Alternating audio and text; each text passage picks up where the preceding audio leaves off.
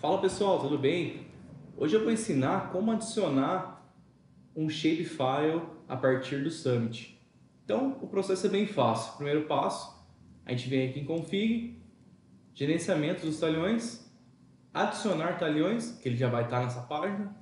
A gente clica aqui em adicione um talhão a partir de um shapefile existente, dá um próximo, a gente busca o shapefile que a gente, que a gente quer adicionar. A gente vem aqui em buscar, a gente navega no, no computador da, no nosso computador até, é, a, até o perímetro do, do shape, né? Eu venho aqui até o perímetro, eu dou um próximo,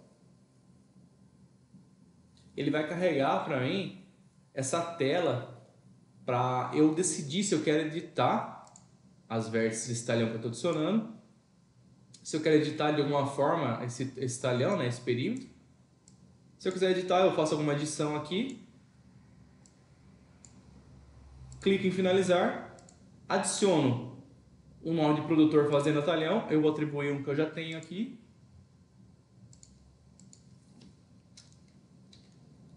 Vou adicionar o talhão nome D01. E vou salvar e sair. A caso eu quisesse adicionar outro talhão, era só eu clicar em salvar, digitalizar, digitalizar outra. Mas aqui no caso só vou salvar e sair.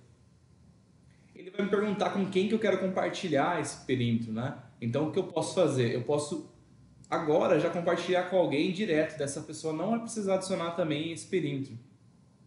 Mas aqui não vou compartilhar com ninguém. Diz que o talhão foi adicionado com êxito. Então ok e tá feito. Tá bom pessoal? Obrigado. Tchau, tchau.